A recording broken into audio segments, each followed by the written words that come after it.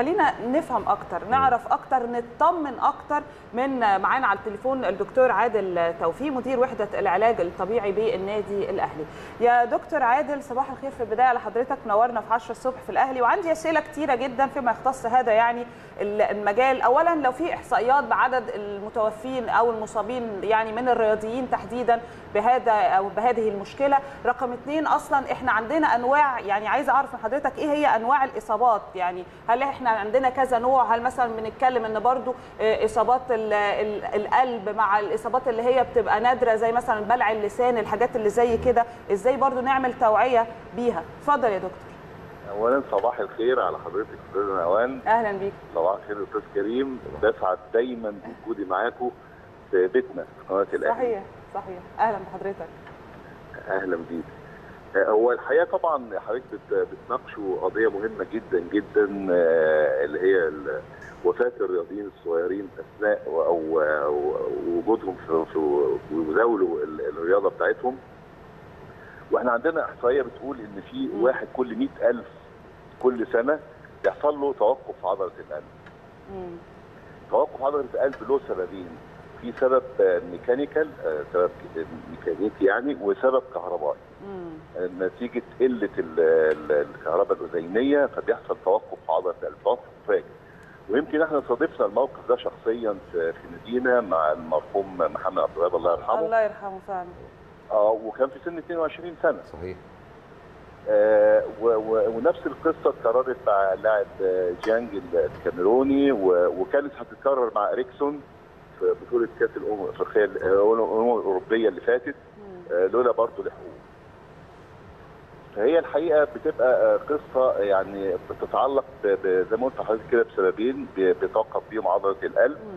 وإلى الآن برضو في وجود العلم الحديث ده لم يثبت برضو ليه هو بيحصل ده.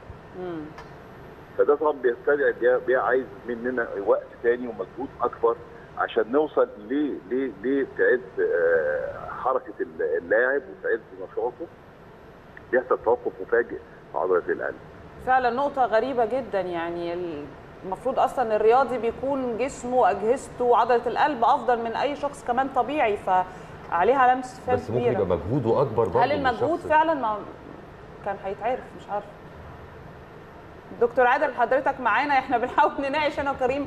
يعني ليه ليه بالذات بيحصل بس عندي مشكلة برضه في الصوت. طيب حضرتك يعني لو سمعنا كويس حضرتك سمعنا كويس؟ لا يعني صوت ضعيف جدا. هو نحاول اعلي صوتي بقى ماشي.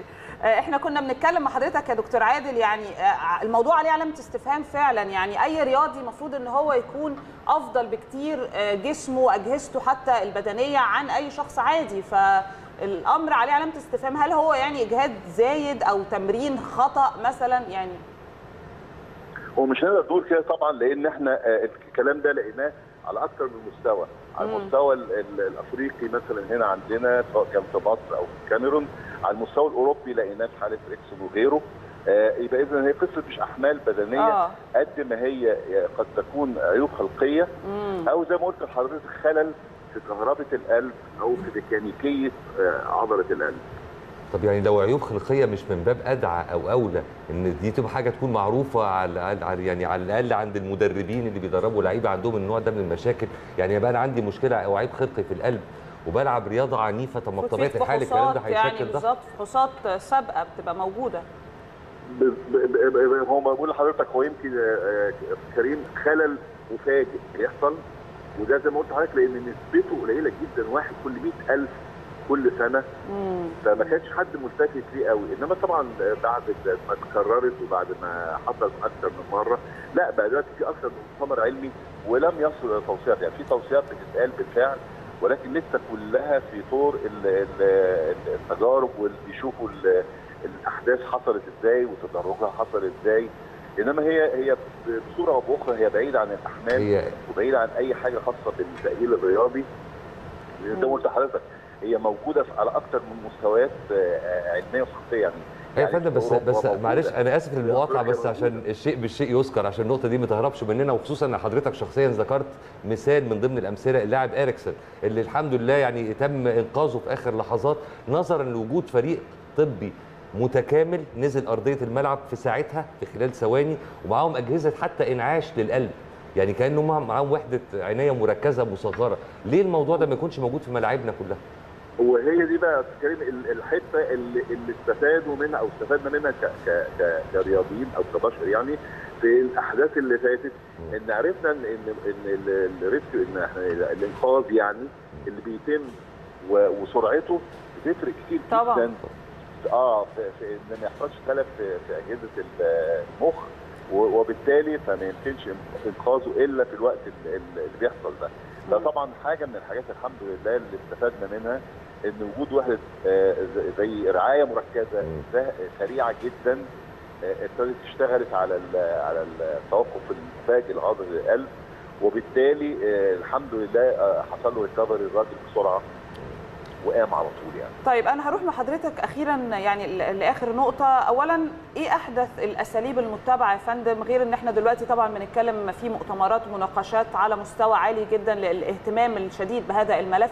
بس إيه هي الأساليب الحديثة المتبعة في هذا الشأن؟ النقطة الثانية إيه أصلا تصنيف إصابات الملاعب؟ يعني هل هي إصابات قلب إصابات رأس إصابات عضلية أربطة؟ يعني تصنيفها إيه برضو؟ حضرتك تفيدنا بهذه المعلومة.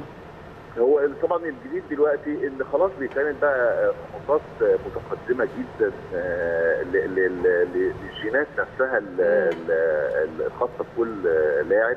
كويس. ده طبعا على المستوى الدولي. آه يعني إيه إيه الاصابات المتوقعة اللي ممكن تحصل له؟ آه، من خلال الدي ان إيه بتاعه. آه، بيعرف على طول مثلا إن إن ممكن تبقى اصابات العظام عنده أكثر اصابات العضلات أكثر اصابات الأربطة أكثر من خلال ال- الخريطة الجينية لكل آه، لاعب أو كل إنسان يعني. مم. وطبعا بالنسبة لنا إحنا بنقسم ال- الإصابات آه، زي ما حضرتك قلت كده في إصابات عضلية ودي بتبقى معظمها ناتج عن طرق التدريب أو أساليبها آه، أو استعداد الإنسان وعضلاته أو الإحماء إذا ما كانش كامل. وفي إصابات أربطة دي بتبقى برضه نتيجة أرضيات الملعب. اذا كانت سيئة أو كويسة آه، نتيجة الالتحامات. وإصابات العظام دي طبعا نتيجة الالتحام المباشر على طول ما بين اللاعبين وبعض طيب ممكن معلش من الإصابات النادرة اللي هي اللسان بلع اللسان لأن أنا هختم مع حضرتك يعني المداخلة دي بهذا الموضوع لأنه مهم جدا ومتكرر. فده حله إيه يا فندم؟ تفاديه إزاي؟ ولا ملوش حل؟ يعني لا الموضوع حل بيحصل كده ده موضوع من ده موضوع بقى من أسهل الحاجات اللي في الدنيا يعني ما دام مم. في وعي. ده من اسهل الحاجات اللي في الدنيا. يعني عندنا إصابات ال- ال- الرأس أو الالتحامات اللي بالرأس اللي بيعقبها الإغماء آه، أو فقدان الوعي دي دايما بيصاحبها آه، بلع اللسان. صحيح. وخلاص دلوقتي بقت في أجهزة بسيطة جدا آه، بتتحط مباشرة عن مع مع التعامل مع اللاعب عشان نمنع بلع اللسان. جهاز بسيط جدا بيتحط آه، آه، راسه في وضع معين أول ما يقع و بيوضع على في في داخل الحلق يعني. فبيمنع دخول أو رجوع اللسان للورا فبيسد القصبه الهوائيه تمام. بسيط جدا ما لا مش محتاج مننا نخاف قوي كده بقى سهل جدا وبسيط جدا والتعامل معاه بمنتهى البساطة يعني. على كل حال إحنا بنشكر حضرتك جدا دكتور عادل على هذه المعلومات يعني ال- العظيمة. وفي نفس الوقت إحنا هنتابع مع حضرتك لأن الملف ده لسه فيه كلام كتير جدا. عايزين برضو نتابع هذا الملف واللي هيسفر عنه هذه المناقشات واللي هتسفر عنه هذه المناقشات والاجتماعات. شكرا ليك يا فندم. أكيد هيبقى الملف ده مفتوح لسه في كلام كتير جدا. طبعا. وفي شغل كتير جدا هيشتغل عليه. وإن شاء الله الأيام اللي جاية أو الشهور اللي جاية هيبقى في تقدم أكبر في الموضوع بإذن الله يا فندم. شكرا. لحضرتك بالتوفيق إن شاء الله.